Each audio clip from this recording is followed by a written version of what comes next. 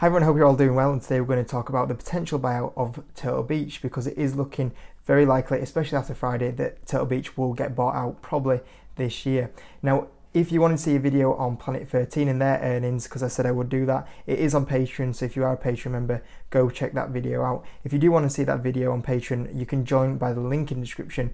Join through there and you'll be able to see exclusive content on there, like the Planet 13 earnings video, as well as other content. Um, I think there's three exclusive videos up there this week, um, as well as a Discord with over 600 members on there, and you get to see my buy and sell alerts in real time as well. I did buy a stock on uh, Friday actually, um, so you guys on Patreon will know which one that is.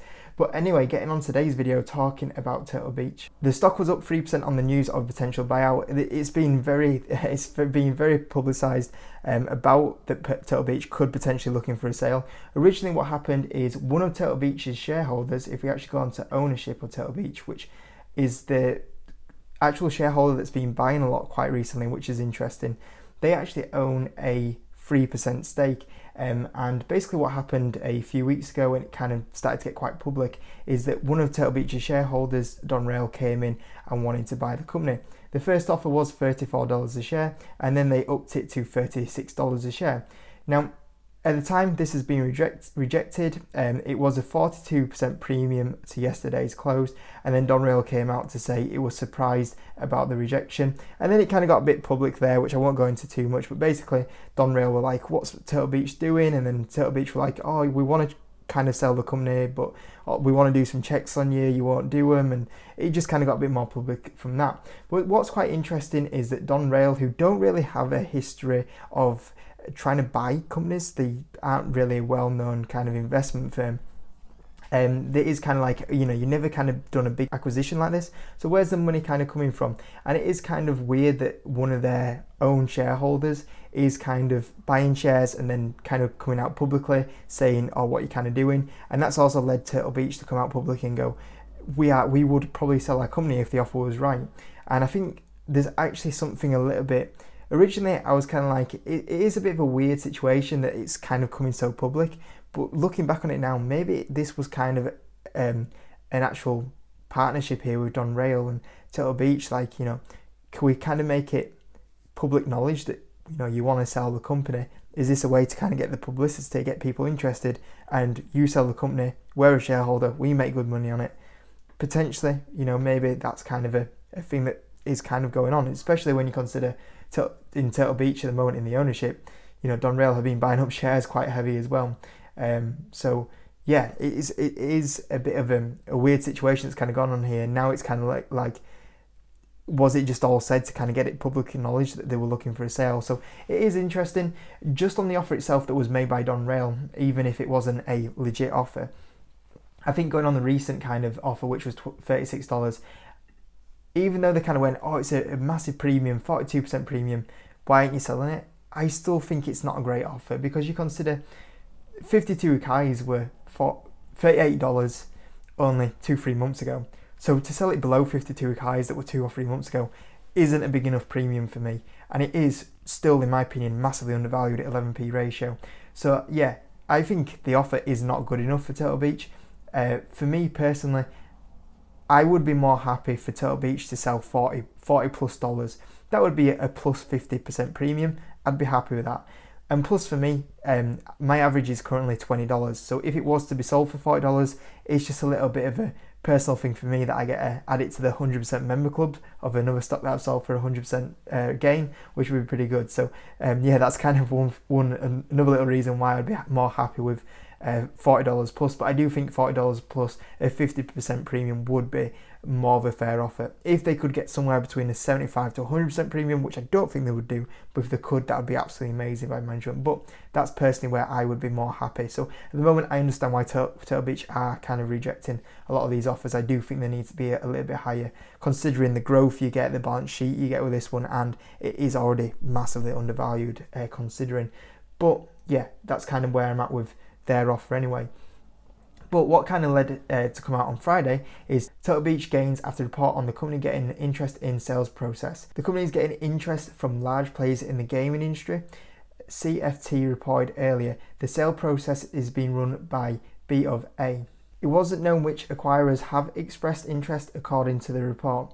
Now it was quite interesting that in this it was uh, the words that was used was interest from large play players in the gaming industry, which and it was used here acquirers. So I kind of think in here that there's actually a few companies looking at potentially buying it.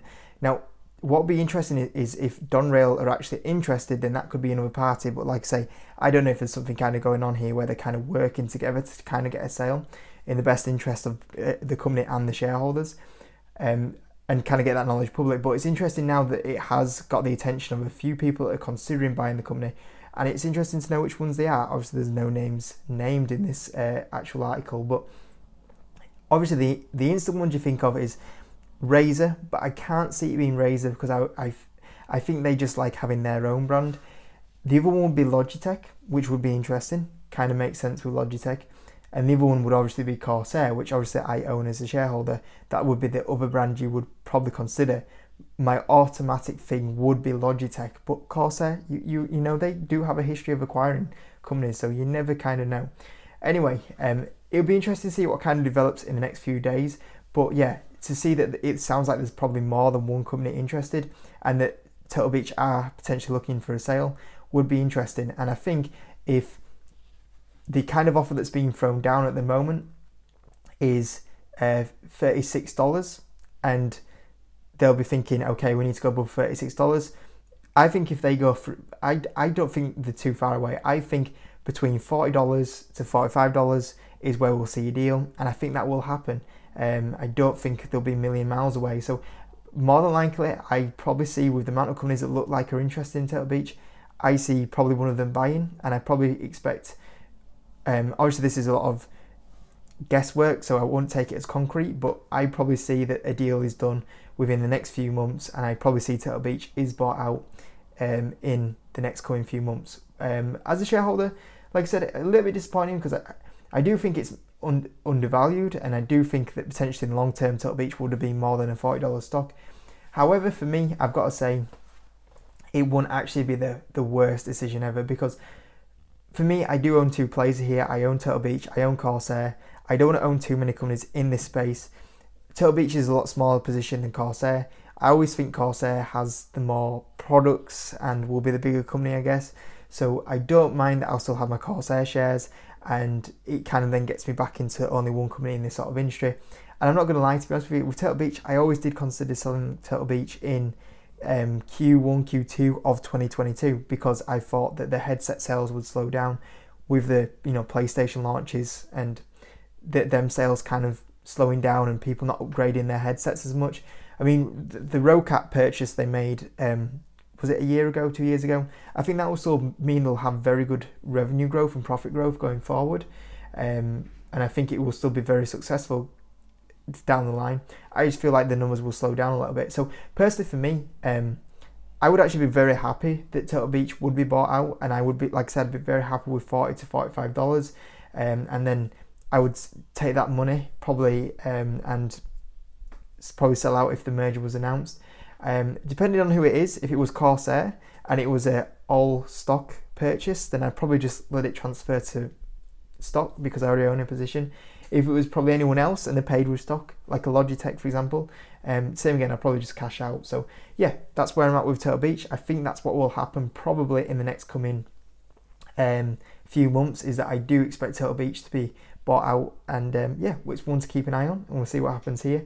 Um, it would be very interesting if Turtle Beach is bought out as well, because I think that would be the fourth buyout this year of stocks I own, which is crazy.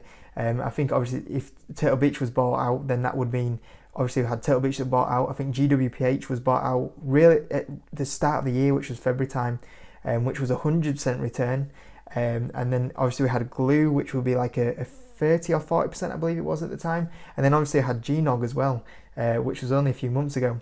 And uh, GNOG was bought out, and that was a 50% gain on that one. So, yeah, if we had a fourth buyout this year, it's a crazy year for buyouts. So, yeah, we'll see what happens. Um, and yeah, if there is a buyout of 40 to 45 dollars I'll, I'll, actually be very happy as a shareholder so that's the video for today talk about Turtle Beach hopefully it was useful if you could hit the like button that'd be absolutely amazing remember if you're on Patreon go check that Planet 13 video out and I will see you on the next video